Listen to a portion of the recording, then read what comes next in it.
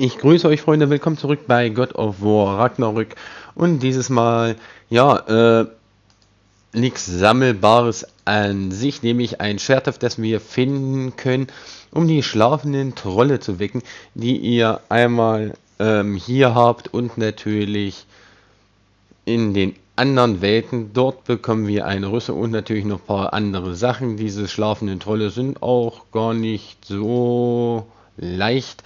Das Schwert finden wir hier hinten. Hier müssen wir erstmal eine Wand zerstören und hier befindet sich ein ja, ein Schwertheft, mystisches Erbstück heißt das, ist eine Reliquie, die müssen wir ausrüsten. Und dann müssen wir hier hinten zum Beispiel zu so einem schlafenden Troll das Erbstück mit R2 und Kreis ähm, aktivieren und so äh, wecken wir diese Trolle hier nämlich auf. Die, so sind die eigentlich, ich bin jetzt ja total voll ausgerüstet.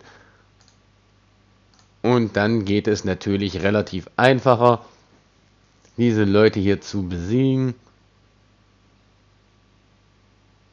Und somit haben wir natürlich auch die äh, eine, eingeschlafenen Trolle, die wir dann überall finden können eigentlich auch eher in der Wüste unten. Also da sind die meisten. Ja, somit haben wir natürlich auch hier die Trolle abgearbeitet und können wir sie erwecken. Wie gesagt, mit dem Schwertheft. Und hier hinten befindet sich schon mal ein Troll, jedenfalls schon mal das.